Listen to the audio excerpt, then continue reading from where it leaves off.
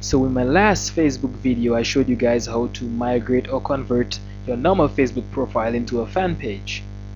This usually happens when you have you are using your Facebook, your normal Facebook to um, contact people and other stuff like that for business purposes. So you need to have a fan page obviously.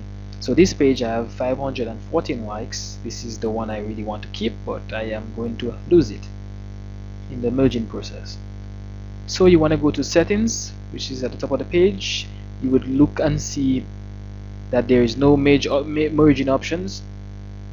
And the reason is because you are viewing your profile as the page which is not the right way to do it. So I'm just gonna show you my other page which has 502 likes. And no matter what you do you won't be able to see the option so you want to go back and use Facebook as yourself? Usually I like clicking the Facebook page from the left area on your Facebook homepage. So I'm just gonna do that.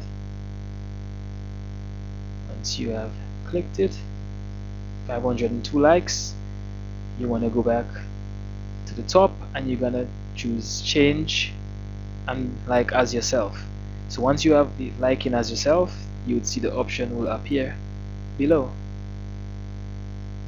Once you click it you would see the similar pages. Must have the same name. Facebook contacts connects the same names so you need to have the same names.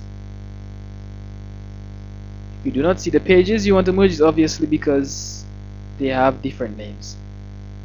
But this is a similar name. One has 514 likes which is the one I really wanted to keep. But in the merging process you're gonna lose some files. So you need to back them up in the first place.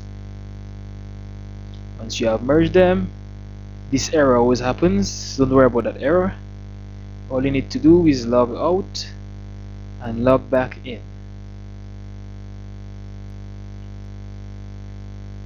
So that's what I'm gonna do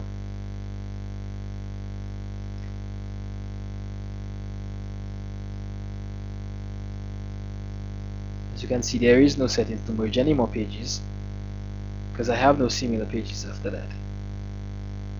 So I log back in and I have 734 likes. Now the reason why you have 734 likes and not 500 is because of the mutual likes.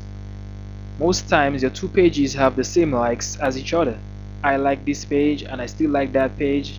My friends like the both pages so then it's converted into one like. You can't have the same profile like in the profile twice like in the page twice. So it removes them.